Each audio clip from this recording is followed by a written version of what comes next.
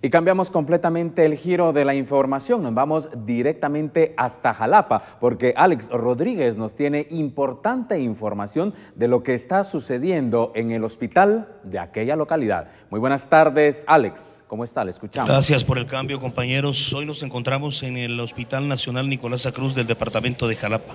La situación que se vive en este centro hospitalario es precaria. Es un caos. Muchas de las personas que están acá a la espera de ser atendidos tienen hasta cinco meses de esperar ser operados. Otras personas dicen estar desde las seis de la mañana esperando también que se les atienda. La mayoría de ellos dan a conocer que cuando solicitan la atención y precisamente un médico los evalúa, les dan únicamente una receta porque no hay insumos en este mismo hospital. Ellos nos cuentan lo que les ocurre. Por el motivo de que no se encuentra nada en el hospital, no han podido operarme que no, no se encuentra nada de nada, hay que traer hilo, hay que traer hasta algodón, guantes, no tienen nada, entonces el problema.